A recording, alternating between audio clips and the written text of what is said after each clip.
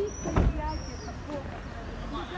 мы а был в серии и поэтому были созданы комнаты.